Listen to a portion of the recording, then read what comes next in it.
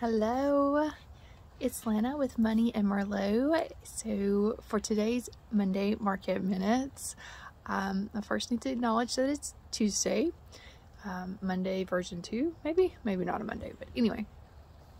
If you caught last week's video, Monday Market Minutes, I left you with some homework to consider, two pieces to consider when you are ready to begin your investing journey um, where will you pull do you have a source of funds for your um, your initial investment?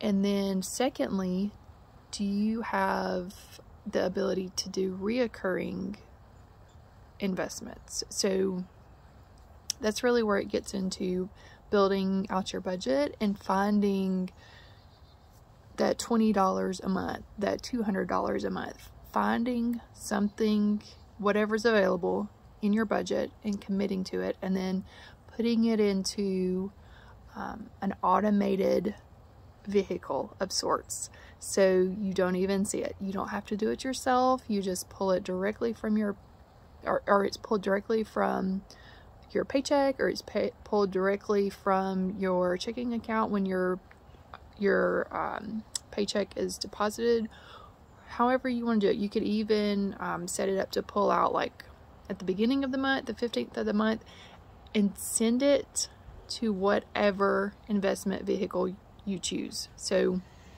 if you wanted to get into the, a brokerage account, you could just send that money straight over. Just send it, set it up as a um, an automatic transfer when you do a um, a transfer like that and, and you're committed to that sort of recurring transfer that's what's commonly referred to as dollar cost averaging.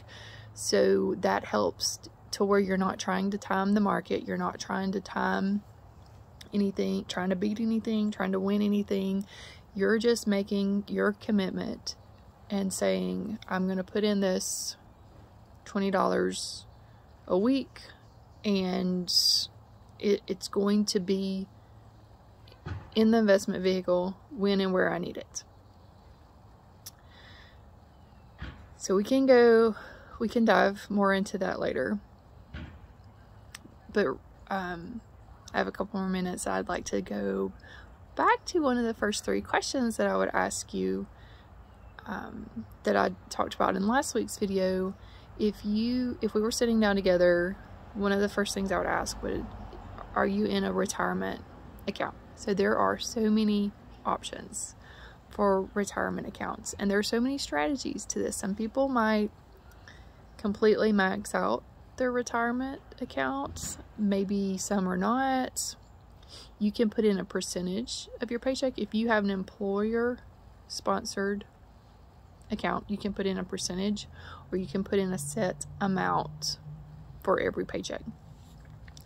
And what you want to be aware of is that most places, not everywhere, but most places, certainly um, if you're in the TSP, you should know that you've got like 10, five major funds and then five life cycle funds, something like that.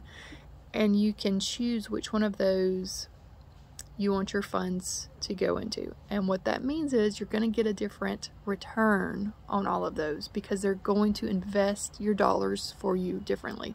So your retirement account is not a savings account. It's not just going somewhere to sit. It's actually going to be invested for you.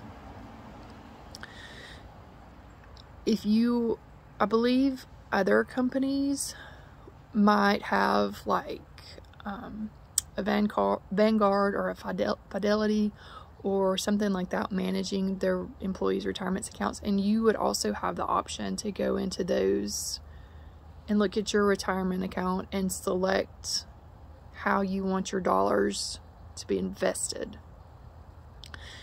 I'm going to use the example from TSP because that's what I'm familiar with. There is the G Fund, which most people's money goes into. And that's possibly worse than setting it in a savings account because you might get like a 1% return on that. Or you could direct your money to something like the C fund or the S fund, and there are those are at 20 25% returns this year.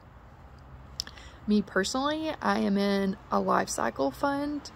I'm thinking about moving to a C and S mixture, but I am in a life cycle fund because it's not been the highest priority for me to actively manage my TSP. And so a life cycle fund will do that for you in a mix.